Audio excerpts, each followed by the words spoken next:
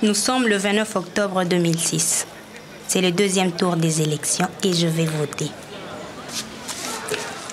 C'est une première fois pour moi, comme pour tout jeune Congolais.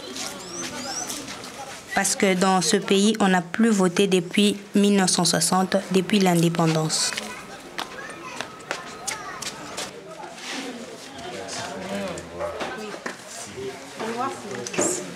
Ces élections pour nous, ça signifie beaucoup. L'espoir de vivre mieux, de vivre en paix. Nous avons deux présidents.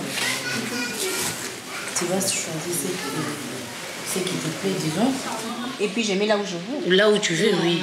Non, là où tu veux, dans, ces, dans les cases. Hmm. Tu choisis la personne dont tu veux et puis tu emballes. Non, il y a, il y a les stylos là-bas.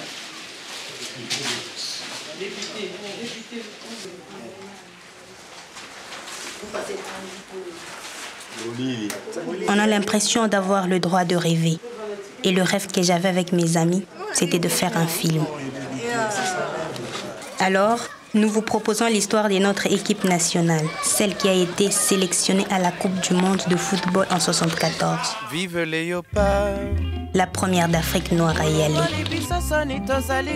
Non, ce n'était pas le Cameroun et ses lions indoctables. C'était nous avec les léopards. Kala nati mokele ya kolangi biso na kongo kinshasa tokangi biso nyonso. Sai na motema. Sai na motema. Esika bapeti sifle sifle ya